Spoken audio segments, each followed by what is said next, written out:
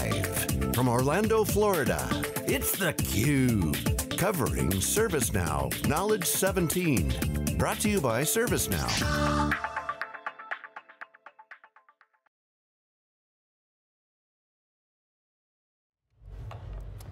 Welcome back. We're here to wrap Knowledge 17. I'm Dave Vellante with Jeff Frick, and this is theCUBE, the leader in live tech coverage. We go out to the events, we extract the signal from the noise for you, our audience. So, Jeff, uh, fifth year at, at Knowledge, our third day. Um, why don't you start off? What's your, what are your, what are your takeaways? You know, it, it's, it's, it's, it's, it's, a, it's an amazing story, right? We, I still remember the Aria, we had this little tiny set, we're up and kind of squeezed in next to the, to the escalator. Remember and, that? Yeah, and we had Fred on twice, I remember, and he was such a character. You know, I think, again, it's, it's, it's about efficiency, it's about automation, it's about software driven, it's about data driven, right? These are all massive trends that we see all over the place, and I think what makes ServiceNow so special is they are executing them very effectively on a, on a small, uh, item where they started, the ITSM, and then they're just executing a land and expand. Um, I, so many times, how many times we hear today where someone was looking at, looking over somebody else's shoulder at them doing some work from a different department and said, hey, what are you doing? I want that. So it's just a, such a solid way to build a business. Really nail something, just be the best. 10x better than anything else that's out there, or 10% of the cost, right? Age-old formula and then demonstrate it, then execute more applications on that platform, have the benefit of being platform first when the thing was designed in the first place, which again, we've heard numerous times was such an important factor for not only building out the apps, but for people coming on board to see the really big opportunities. You always talk about, what's the TAM? It's not the ITSM's TAM that they've been targeting. And they just seem to be executing. It's all, at the end of the day, and you said, Frank Slootman's an execution machine. Uh, now they're basically passing on the reins to kind of a, a new group of folks, fresh energy, fresh ideas, uh, all very seasoned veterans with lots of experience in applications, infrastructure, cloud, to see if they can take it to the next level.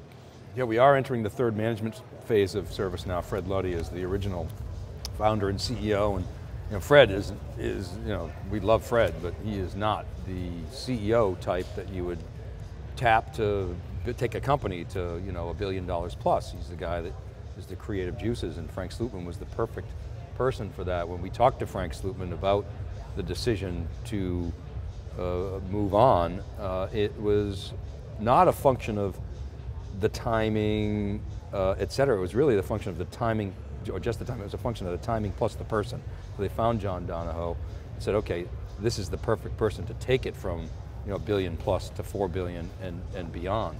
Um, and so we are entering that phase. I guess the other thing is, you know, you can't look at this company and not look at the numbers. 1.4 billion in revenue, uh, on their way to 4 billion, aspirations of 10 billion plus, um, 30 plus percent revenue growth, 45% plus you know, free cash flow growth, $17 billion market cap, and just awesome numbers. Uh, and stock price is up, investors get it, consistent execution, maybe one speed bump you know, a couple years ago, but otherwise it's been beat, beat, beat. And, and that is because of the predictable nature of this business. Now, there are some, watch this, there's some interesting accounting changes that might throw some people off. Ways in which you account uh, revenue, uh, both positive and potentially negative for ServiceNow's income statement. Doesn't change the business a bit, but I'm looking for the street to misunderstand when it's positive and go nuts. Oh my God, look what happened, just because of an accounting change. And when it's somewhat negative from an accounting standpoint, like in Q3 when the ratable revenue is not recognized up front or whatever the weird accounting machination are,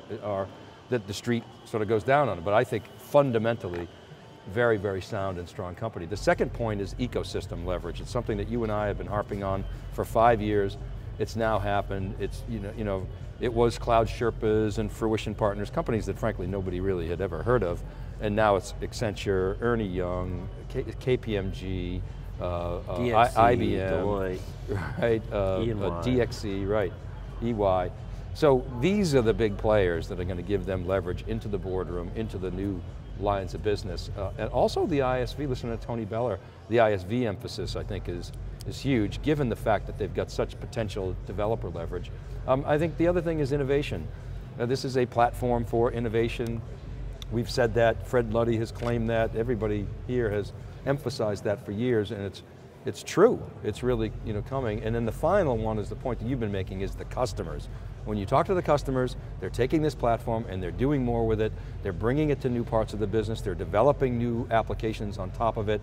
They're using this platform to completely transform the way they work, and that's a very powerful testament, and it, it's just, it's their own, you know, Jassy talks about the flywheel, these Right. guys are clearly on the flywheel. I think Jeffrey Hammond from, from Forrester who we had on today had some really good points. And, and, and like you said, everybody wants the developers, developers, developers, developers.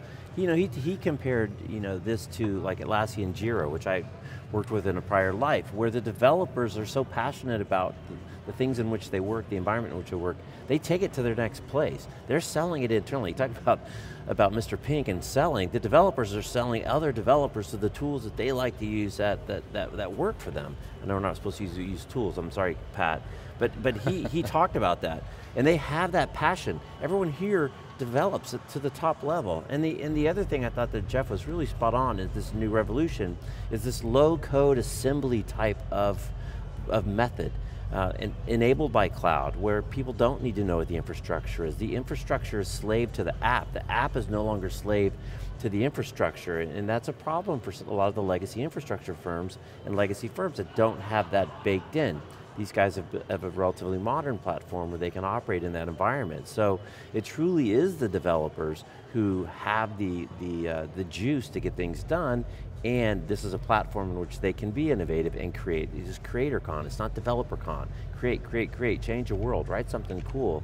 And I think they're really well positioned for that. So, and then the next big thing, we've talked about machine learning and AI, and again, in typical ServiceNow fashion, they find a really simple way to execute ML in a, in in a high value way and categorization and, and these types of things. But then the next thing that Pat talked about was the next thing is where no longer are people going to have to be forced to talk like, like machines, but now the machines will have the horsepower, bandwidth, compute to actually start to listen to the people. So there's going to be a whole nother wave of execution uh, and growth in the way apps develop because if you've got an Alexa, you've got a Google Home, you talk to them, and they're still really nascent. There's a long way to go. Yeah, and I think that's really helped this company a lot, that mindset of, of Fred Luddy saying, I want to create an Amazon-like experience, and, and it's really uh, played well. Uh, we've been saying for five years how much we, we love this company, we still love this company, it's, it's, it's probably my, you know, certainly top three of folks in the enterprise to watch, continue to watch this, this company. Okay, uh, so that's a wrap for us, theCUBE, big week this week. You know, ServiceNow Knowledge, uh, we, uh, we are at E- EMC World OpenStack Summit. All that stuff is on siliconangle.com and thecube.net, so you got to check that out. Um, it's just, just tons and tons of content from, from this event and other events. Uh, check out uh, our Twitter handle, check out Cube Gems, uh, and it's just awesome, the little snippets of the interviews, and you really can get a, a sense as to some of the key trends. It's like watching the ticker tape at the bottom. A big week next week. I think we got three shows next week too. We're going to be at VeeamON. Veeam, Informatica World, and uh, we'll be covering SAP Sapphire from Palo Alto. Yeah, and then obviously, I mean, May, June are our biggest months of June. I think we've got multiple shows every week. Uh, to siliconangle.tv, there's the a guys lot are total there. road warriors. When was the last time you guys were home? We're taking care of Pat's It's been a car at while. the It was definitely last month. So He's uh, not worried about the street cleaners in San Francisco, let's but, just uh, say that. And, and you know, again, thanks to everybody from ServiceNow. It just was such a, a fabulous week. Uh, you guys treat us great, give us this nice space, the best guest, and we love the fact that you got so many, so many customers to come on of high quality, CIOs, women in tech, runs the gamut, great exec, so you know, thanks to the whole ServiceNow community, you really make theCUBE feel welcome, and, uh, and we love you. Jeff, always a pleasure working with you. Uh, Great show, it's Dave. It's been awesome, so thanks very much, and thanks to the crew.